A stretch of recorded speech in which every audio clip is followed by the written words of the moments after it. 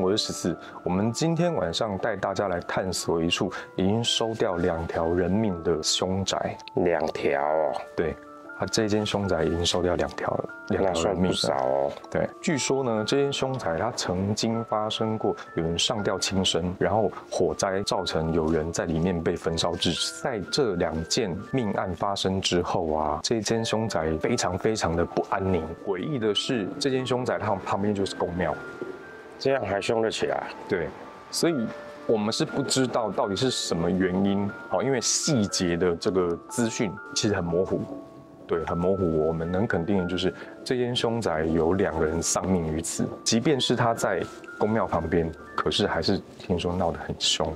我们今天就带大家来去探索这间双命凶宅。好的，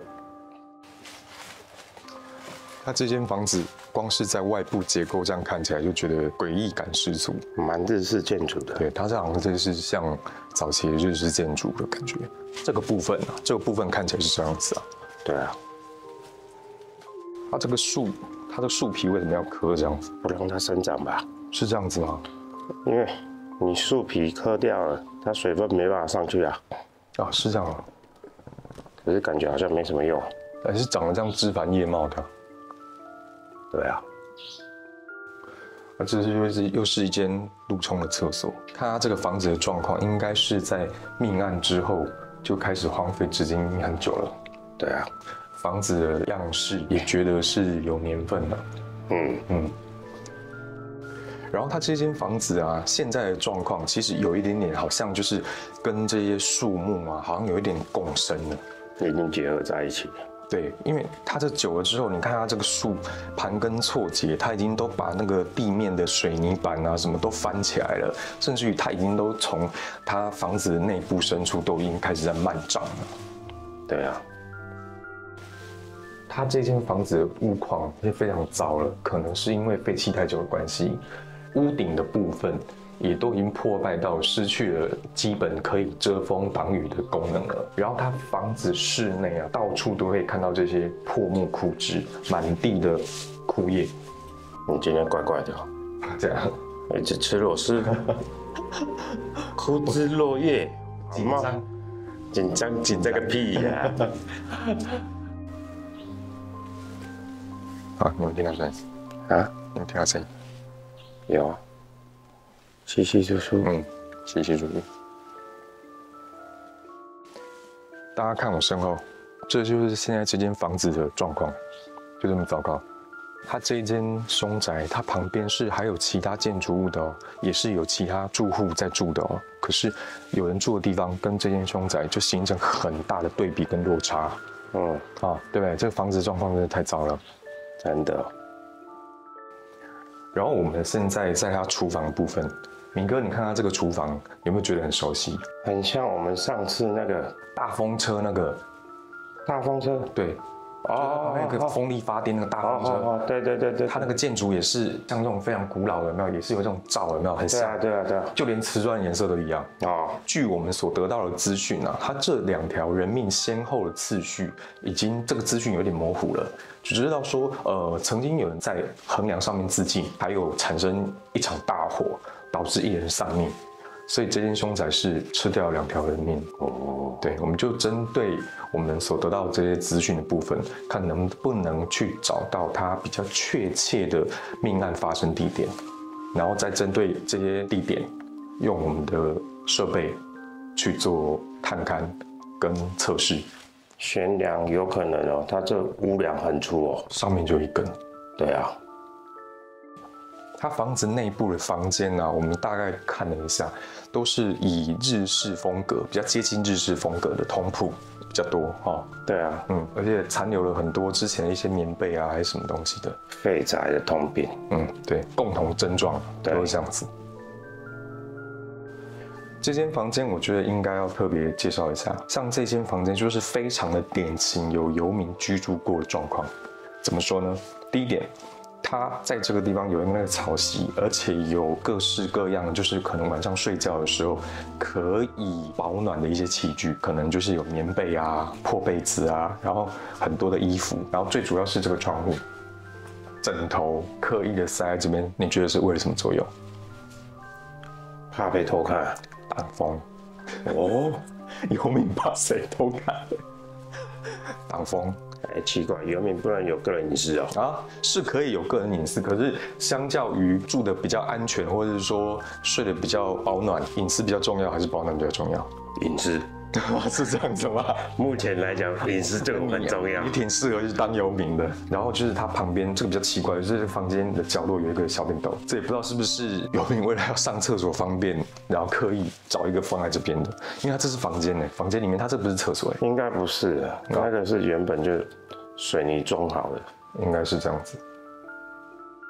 这个地点应该就是开始已经有之前焚烧过的痕迹了。我在想，如果会造成人命损失来讲的话，这应该还不是起火点啊应。该不是如果，是起火点的话，应该是状况最严重的地方了，对不对？这有点是这栋建筑物的客厅、客厅啊，大厅，哦，那我们可以再去找那个它的起火点在哪里。起火点应该是旁边偏房吧？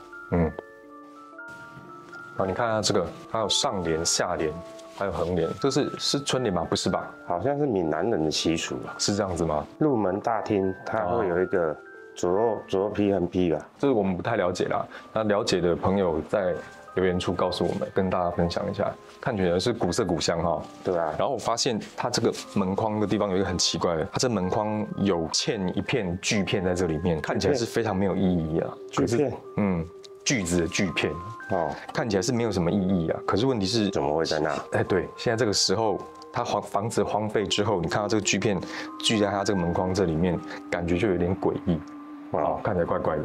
对啊，哦，我身后这间房间应该就是它当初这场火灾的起火点。它不管是它的家具、屋顶或是墙壁，任何木质的这些构造都已经严重的碳化，而且全部都熏得一片焦黑，跟我们上次去拜访那个九人丧命的那间，它那个严重程度是不分轩轾哦。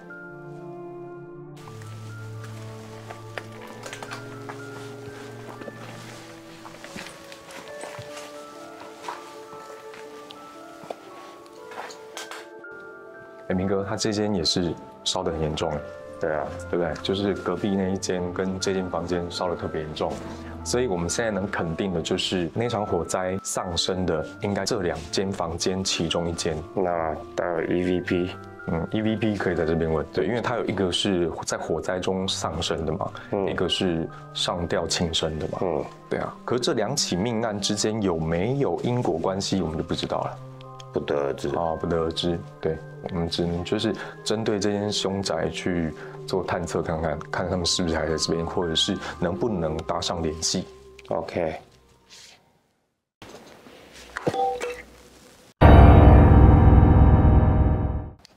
哎，嗯，干，我被你搞到变红人呢，红人，你觉得你觉得你自己很红？啊，你觉得你自己还不赖啊，啊？真真要脸，啊，你 真要脸啊！那还那是一定的啊，嗯，我就说不要上进，那会造成造成一些波动，你就不信。你现在讲话都很有自信哎。我红啊，你红，你红，你红，我们比较嚣张了。嗯，没有嚣张啊，很麻很麻烦哎。哪一天我做工程被认出来怎么办？我快没电了啊。又没电，哎，这次不是我带了哦，嗯嗯，这次不是我了哦，高腰。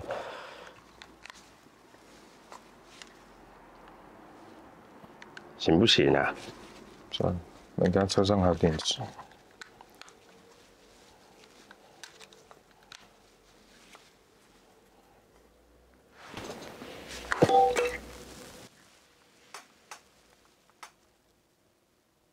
是你被又拍我，你拍上面啊？什么情形啊？差点砸到机子哎！哪里掉下来了？那一只吧，屁呀、那只剩一节而已啊，感觉这边好像不能待久哎，它那个上面那个横梁碳化了。都烧成这样，哎，这这这，对啊，粗细差不多呢。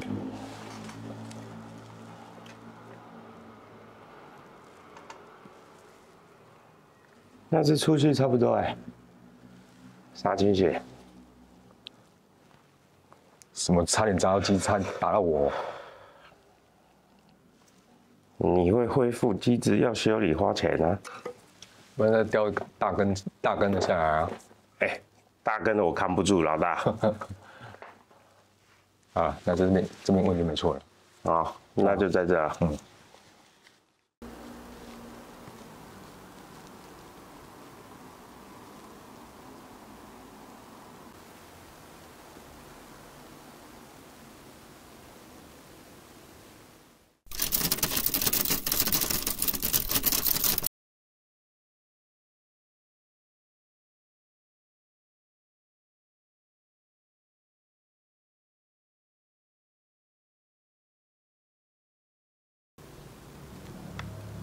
床那边好像有一个躺在那，对，啊，忽隐忽现啊，而且很清楚人形。嗯，是个人躺着嘛？那他有没有可能是在睡觉的时候发生火灾？叫的时候发生火灾，叫的时候发生火灾，叫的时候发生火灾，搞不好导致意外，闪现了。对啊。